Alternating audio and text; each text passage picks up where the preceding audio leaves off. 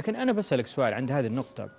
أنت كلاعب مريت بأكثر من نادي محلي وخارجي وعندك رأي وتعرف ولك علاقات برؤساء الأندية وبمدربين كثر وبلاعبين زملائك.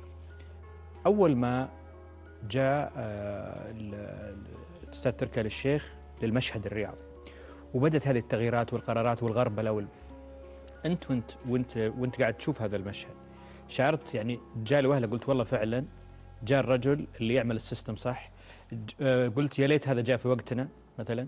والله شوف أنا ما أتوقع إنه في حد ما يتمنى إنه إنه يكون هذا الشيء موجود في وقت يعني يعني يعني تتمنى إنه إنه جاء قبل عشر سنوات قبل 15 أكيد طبعا تتمنى هذا الشيء لأنه الرجل أنا بقول الرجل الآن يعني بيقول للاعب السعودي آمر تدلل؟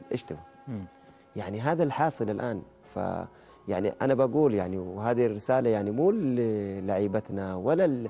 أنا يعني رسالة لكل الوسط الرياضي يعني إنه لا تطفشوا الرجال، الرجال جاي بحماس، لا تطفوا حماسه، بالعكس أدعموه، إن شاء الله بإذن الله تعالى ربنا يكرمنا ونقدم نتائج كبيرة بإذن الله تعالى في في المونديال.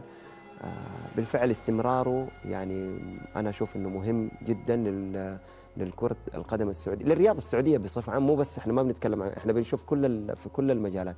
فيعني بتواجده بصراحة أنا أشوف إنه جدا مهم. وإحنا كلاعبين يعني أو أنا كلاعب بقول لزملاء اللاعبين أغتنموا الفرصة فرصة ذهبية. طيب.